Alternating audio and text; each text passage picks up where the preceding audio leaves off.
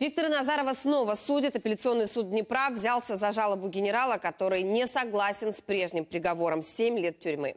Назарова признали виновным в служебной халатности, которая привела к гибели 40 десантников и 9 членов экипажа Ил-76. Этот самолет сбили боевики в июле 2014 года над аэропортом Луганска. Все подробности расскажет Елена Миндалюк. Полтора года дело Виктора Назарова рассматривал Павлоградский райсуд за смерть десантников и экипажа Ил-76. Генерала, который отправил самолет в Луганск, приговорили к семи годам лишения свободы. Родственники погибших, говорят, были уверены, что это точка. Но вот они снова в суде, апелляционном. Люди не могут сдержать эмоций. Ви брешете на всю країну. Всі військомати вас попереджували про те, що літак буде збитий декілька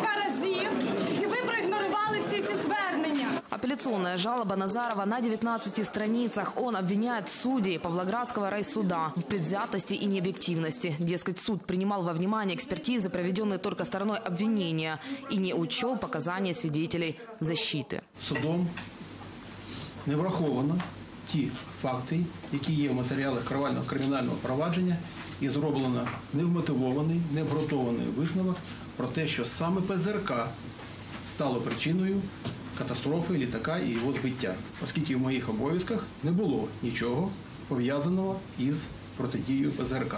Родственники погибших возмущены. Я б хотіла їм напомнити. Він тут розказує, який він білий і пухнастий, що він нічого не знав. А до нашого самольота 5 вертушек і Ан-30 вже були збиті. Іл-76 вже з пробоїнами вертався. І він зараз хоче щось нам розказати. Це не є апеляція в тому вигляді, в якому вона викладається в рамках кримінально-процесуального законодавства.